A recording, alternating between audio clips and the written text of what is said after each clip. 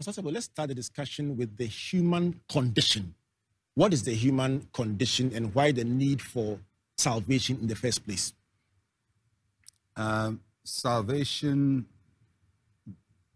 became necessary after the fall of man, after Adam and Eve fell in the garden.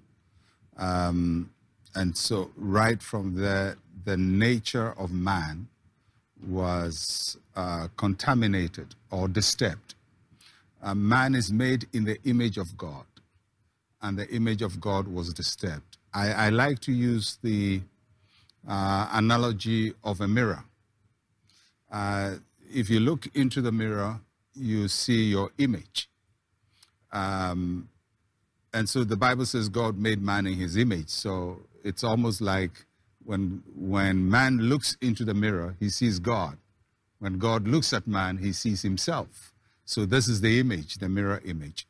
Now I want you to imagine that you have a nice mirror, you look into it, you see your image, and then one day something happens and somebody throws a stone at the mirror and cracks the mirror. The, the, the mirror is still there, but you look into it and what you see is a distorted version of the original image. So you're still the image, but you have been distorted. Something has messed up the image that ne- needs fixing.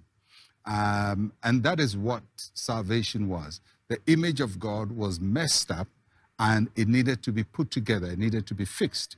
And that would necessitate a new image uh, coming into being, which eventually will be Christ. We'll talk about that later.